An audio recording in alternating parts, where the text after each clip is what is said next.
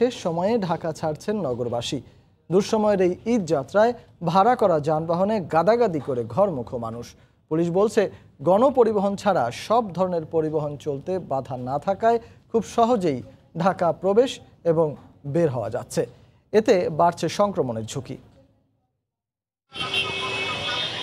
Corona সংক্রমণ রোধে বন্ধ রয়েছে গণপরিবহন। তবু থেমে নেই ঈদে ঘরমুখে মানুষের ঢল। ট্রাক মোটরসাইকেল কিংবা ব্যক্তিগত ভাড়া গাড়িতে করে গাদাগাদি করে ছুটছেন মানুষ। সারা দেশে করোনা সংক্রমণ বাড়তে থাকলেও রোববার সকাল থেকে ঢাকার বিভিন্ন স্থানে স্বাস্থ্যবিধি না মেনেই দেখা যায় মানুষের চলাচল। হায়াত মালিক তো আল্লাহ। বাসি কি মরি সেজন্য বাড়িতে যাচ্ছি সবার সাথে হতে পারে এটা জীবনের শেষ ঈদ। ছোট ছোট ভাই বোন আছে এই জন্য ওরা আর কি বলল আবদার করলে এই জন্য আর কি যাওয়া আমার শাশুড়ি অনেক অসুস্থ বাধ্যতা যাওয়া লাগতেছে। আমার শরীরটা ভালো না। আমার বাসায় আসতে বলতেছে এই জন্য আমি যাচ্ছি। গণপরিবহন বন্ধ থাকায় ঘরমুখো যাত্রীদের গুনতে হয় কয়েক গুণ বাড়তি ভাড়া। রংপুরে ভাড়া এক হাজার থেকে বারোশো টাকা হাইসের ভাড়া যাচ্ছে বগুড়া যাচ্ছে আটশো টাকা হাজার টাকা। ভাড়া মোটামুটি আপনার বেশি থাকতেছে আর আটশোশো এক হাজার বারোশো জানা যার থেকে যা নিতে পারতেছে।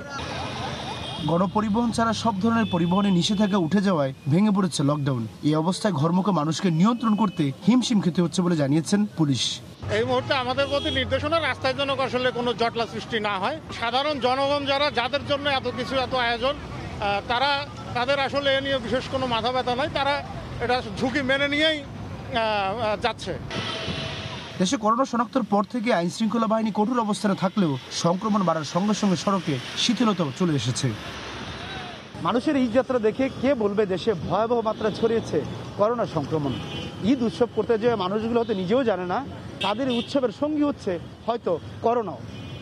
তাহলে প্রশ্ন থেকে যায়, প্রথম থেকে করোনার সংক্রমণ ঢুকতে যে আইনের এত কঠোরতা, তাহলে এখনের বাস্তবতা কোথায়? সাদাত রহমতুল্লাহ, সময় সংবাদ, ঢাকা। এই মুহূর্তে আবদুল্লাপুরে আছেন সহকর্মী সাদাত রহমতুল্লাহ, সরাসরি চলে যাব তার কাছে। সাদাত সকাল থেকে আসলে রয়েছে রাজধানীর যে বিভিন্ন পয়েন্টগুলোতে আমরা ঘুরে দেখেছি এবং দেখেছি যে এই শেষ সময় এসে ঘরে ফেরা মানুষের যে চাপ সেটি কিন্তু অনেকাংশে বেড়ে গেছে। আপনি যদি দেখা যাচ্ছে এই মুহূর্তে রয়েছে আবদুল্লাপুরে, এই আবদুল্লাপুর অংশের ঠিক যে বের হওয়ার পথ, সেই বের হওয়ার পথে রয়েছে বেশ পরিমাণে এই সমস্ত অটো রিক্সা এবং অটো রিক্সার পাশাপাশি কিন্তু ব্যক্তিগত যে সমস্ত মাইক্রোগুলো রয়েছে এখান থেকে মূলত আহ, ময়মনসিংহ এবং শেরপুরের উদ্দেশ্যে ঢাকা ছেড়ে যাচ্ছে।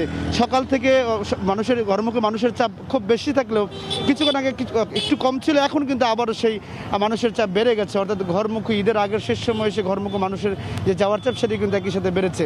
আপনাকে যদি বলি যে এর বাইরে কিন্তু এই গণপরিবহন না থাকার ফলে কিন্তু এখন সড়কে মূলত সিএনজি চালিত যে অটোরিকশা এবং মোটর সাইকেল এই মোটর সাইকেলের এই সংখ্যা বেড়েছে এবং তারাই কিন্তু এই মুহূর্তে এই যারা ঘরে ফিরে যাচ্ছেন এসব মানুষের একমাত্র যানবাহনই হচ্ছে এই ব্যক্তিগত গাড়ি এবং মোটর সাইকেল এখান থেকে কিন্তু যারা ঢাকার বিভিন্ন জায়গায়, অর্থাৎ বিভিন্ন জেলার উদ্দেশ্যে ছেড়ে যাচ্ছেন, তাদের কিন্তু অতিরিক্ত বাড়তি ভাড়াও গুনতে হচ্ছে। যেসব জায়গায় আগে দুই থেকে তিনশো টাকায় ভাড়া, সেই সমস্ত ভাড়া কিন্তু দুই থেকে আড়াই হাজার টাকায় কখনো কখনো আমরা দেখেছি, এখান থেকে ময়মনসিংহের ভাড়া হচ্ছে প্রায় পনেরোশো টাকার মতো গুনতে হচ্ছে সাধারণ যাত্রীদেরকে।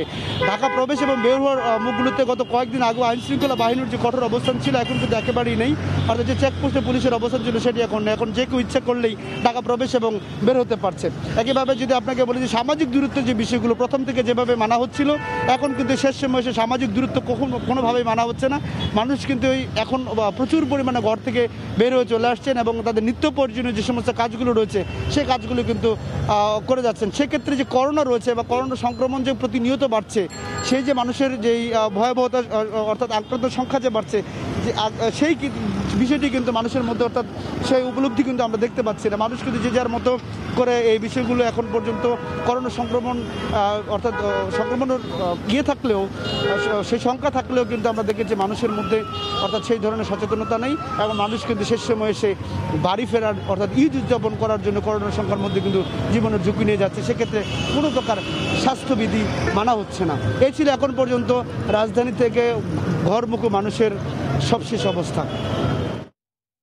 ঈদের রাজধানী থেকে ঘরমুখো মানুষের সবশেষ খবরাখবর জানাতে আবদুল্লাপুর থেকে আমাদের সঙ্গে যুক্ত হয়েছিলেন সহকর্মী